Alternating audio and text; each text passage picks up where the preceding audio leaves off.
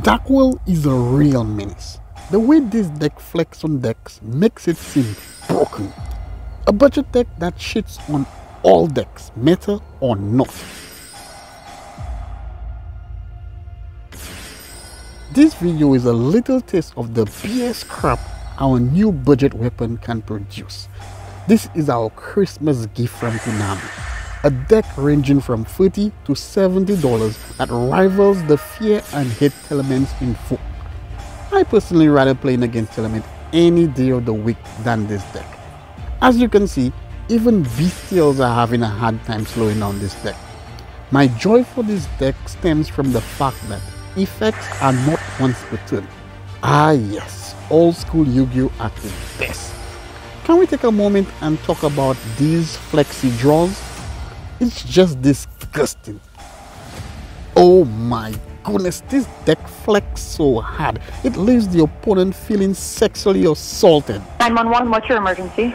Dark World, paired with modern day links and XYZ monsters, you can open up a world of crazy possibilities. Since the new Darkworld cards deliver lots of draw power and easy access to a shitload of discard effects, you can easily overwhelm the opponent.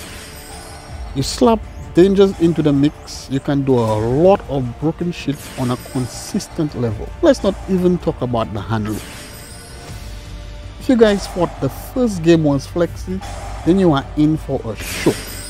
Game 2, the opponent is about to mount a board that destroys any deck relying on monster and grave effects. In honor of the opponent's mental stability, I will take a moment of silence.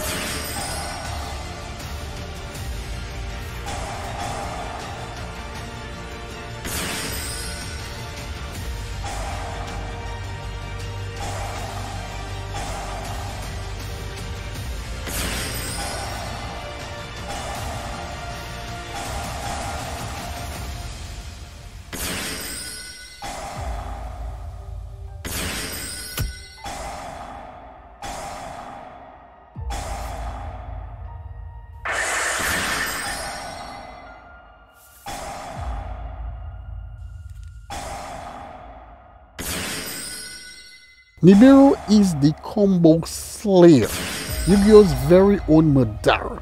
Nibiru always gets the job done after it comes all over your board. There is a saying, ignorance is bliss.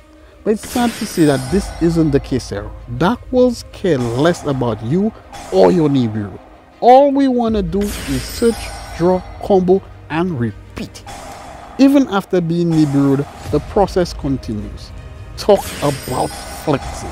Can we talk about Darkworld's Fusion Monster, which is an Omni Negate that triggers both Darkworld Monsters effect and has a farewell effect when out?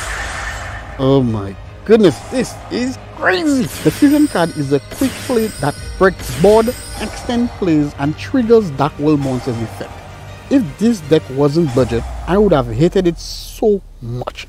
But power to the people. With Sillva in hand, the fusion negates and straight up rips the opponent two cards from their hand. If you want to see more craziness from this deck, check out this video. Deck profile in the description.